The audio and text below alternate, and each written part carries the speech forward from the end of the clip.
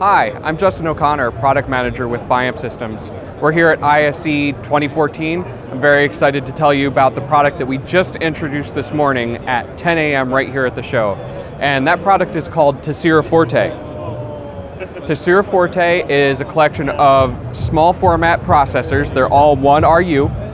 And these processors are a member of the complete Tesira family, but they can also operate as standalone application specific processors.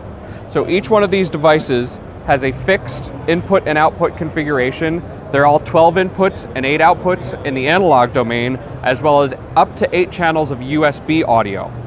But they're tied to specific applications. So we have the basic unit, which has those mic line inputs, and also has RS-232 for control, GPIO, and the USB audio.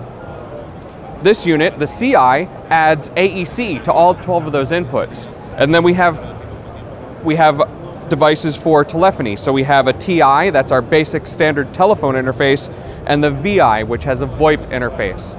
So these four models appear in an AVB equipped version and a non-AVB version. So when you need only a standalone processor, you don't need networking, you can go without the AVB. But if you want that networking or you want the ability to connect to any of our expanders just from one of these devices, the AVB allows you to do that. As I said, they're also part of the entire Tesira family. They use the exact same configuration software. They can host a Biamp Canvas design surface file. And so they really become another tool in the entire platform of Tesira.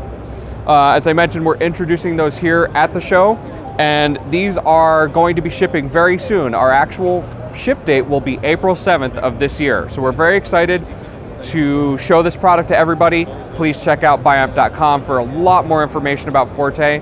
And uh, I hope you like what you see. Thanks for joining us.